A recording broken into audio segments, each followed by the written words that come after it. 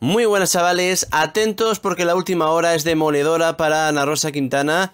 Resulta que Villarejo acaba de declarar que fue la propia Ana Rosa Quintana la que le hizo uno de los encargos porque estaba desesperada por las torpezas de su maridito.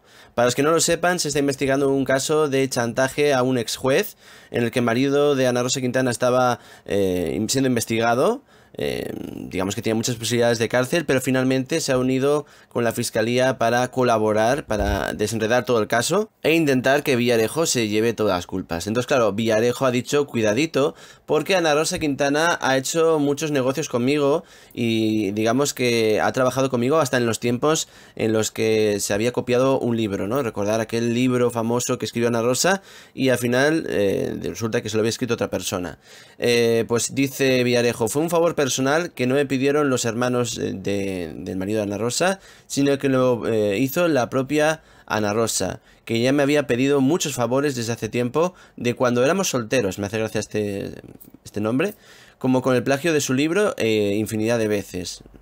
Eh, dice Ana Rosa me comentó, oye, tengo un problema con este maridito que decía que, eh, que he hecho nuevo, que resulta que, que, es más joven que nosotros y no entiende que está casado con una mujer famosa.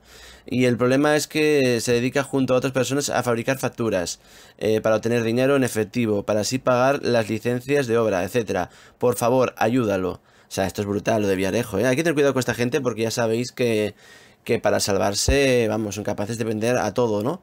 Y yo no veo una Ana Rosa Quintana capaz de estas cosas, así tal cual, ¿no? O sea, me puedo creer que cuando estás en lo alto puedas tener influencias, pero no creo que Ana Rosa sea tan torpe, ¿no? Dice, me hubiera gustado que hubiera venido Ana Rosa a explicar si es verdad o no, porque se libró de que fuera investigada, y a su marido lo conocí después de que ella me, me pidiese esta ayuda. Yo no tenía ninguna relación con su maridito, y perdón el término, pero ella está muy enfadada por los errores de su maridito, que redundaban en ella por su prestigio profesional. Tremendo, tremendo esto sin duda. Y recordad que Ana Rosa estuvo siendo investigada a ver si también eh, tenía algo que ver con todo esto. Ahí al parecer, según dijo algún medio, audios que hablaban de Ana Rosa Quintana, pero se libró de ser eh, finalmente imputada en el caso. Comentad, opinad qué os parece todo esto. Eh, ya os digo que Ana Rosa está ahora mismo totalmente senta de cualquier tipo de posibilidad de cárcel ni de jaleo de esto, pero...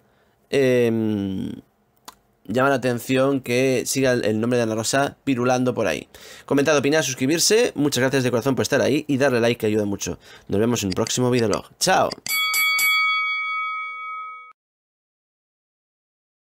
Si te ha gustado este vídeo, dale a like y suscríbete con campana para más noticias. Y si quieres conocerme, visita también mis vídeos diarios. Tienes cadena Juanjo Blog para más información de la forma más amena. ¡Nos vemos!